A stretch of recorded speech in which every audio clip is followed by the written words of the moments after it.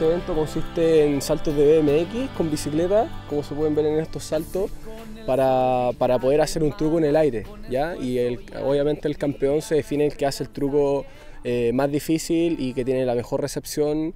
Y son un conjunto de, de detalles que son los que llevan al, al campeón.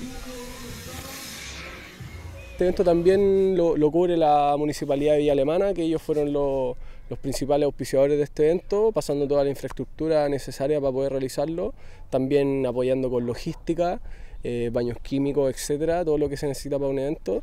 Y nosotros también realizamos el evento en sí como alumnos de la universidad y lo presentamos a, la, municipalidad y se dio todo perfecto y ellos también les encantó el proyecto y así que nos unimos todos en conjunto para poder realizarlo.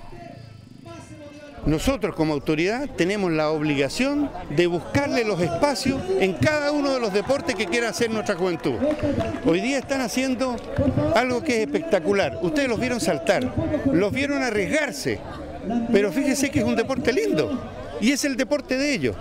Necesitamos entregarle el apoyo que necesitan y lo vamos a hacer todas estas iniciativas que son sanas, que nacen del corazón, que nacen de las ganas de hacer las cosas, nuestros hijos y nuestros nietos, nosotros tenemos la obligación de ver cómo seguimos con ellos trabajando adelante y ellos siguen siendo realmente los hijos que nosotros queremos, deportistas, sanos, respetuosos y hoy día me doy feliz.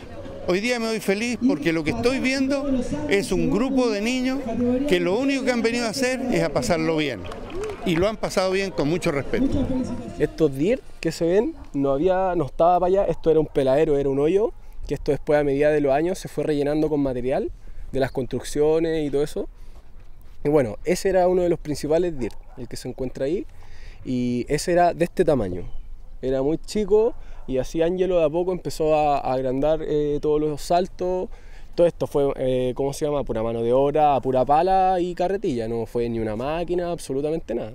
Por eso que también es una trayectoria ya de más de 10 años que tienen estos saltos acá en construcción. Toda la gente los conoce también por, su, por la trayectoria de años que tienen, los, los famosos saltos del Pachuco que todos los conocen.